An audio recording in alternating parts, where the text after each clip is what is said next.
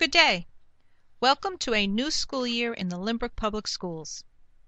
We are looking forward to another year that is full of activity for our students. If you receive the school calendar, you will note that the cover theme is It's All About the Kids. Our goal is to drive instruction based on the needs of each student. The Board of Education has made one of its primary goals this year to support an instructional model that is student centered. This is done by shifting the focus from teacher driven to student driven tasks. Project based learning activities and collaboration work are at the forefront in this model. A second goal for this school year pertains to writing. The educational process should produce young adults who can communicate effectively, both verbally as well as in writing. Teachers will develop lessons to strengthen the argumentative writing skills of our students in order to effectively and cohesively emphasize their stance on key topics. This style of writing will be infused in all content areas. The Lynbrook Public Schools considers itself to be quite robust in the area of technology. Every year, one of the Board of Education goals is to support the technology integration in our district.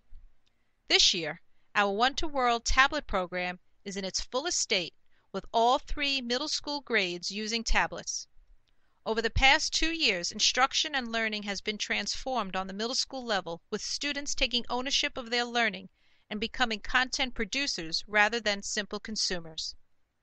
Motivation and engagement have been powerful products in this learning process.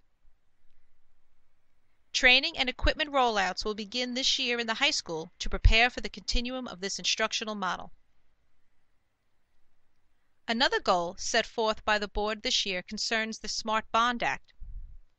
Monies have been allotted to the Lynbrook schools to support our infrastructure and strengthen our security protocols with additional equipment and door entrance designs. Plans have been discussed over the past two years, and a hearing will take place in November to discuss the proposal.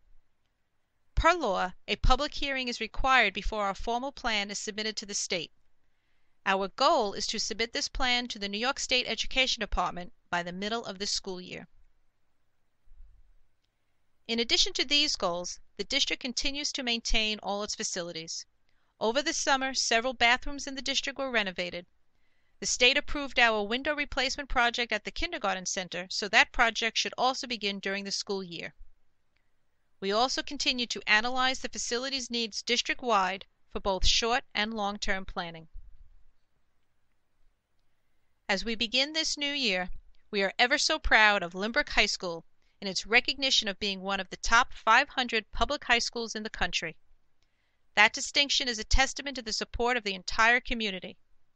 We are most appreciative of your continued support and look forward to prepare the Lynbrook students for the future. Thank you.